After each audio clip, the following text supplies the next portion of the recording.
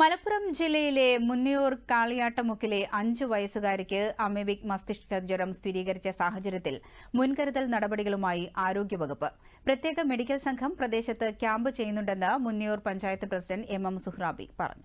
ഇന്നലെയാണ് ഈ വിവരം അറിയുന്നത്.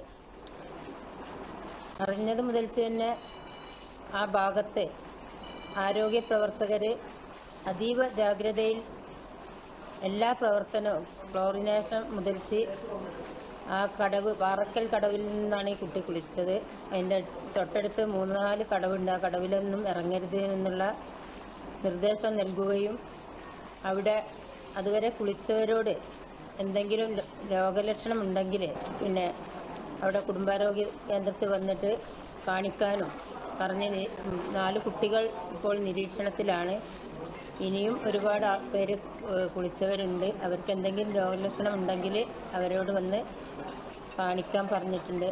അതുപോലെ ക്ലോറിനേഷനും ചെയ്ത് ആരോഗ്യ പ്രവർത്തകർ എല്ലാവരും അവിടെ ക്യാമ്പ് ഓരോ ഭാഗത്തും ക്യാമ്പ് വെച്ച് ഇതിനുള്ള എല്ലാ പ്രവർത്തനങ്ങളും നല്ല രീതിയിൽ ചെയ്യുന്നുണ്ട്.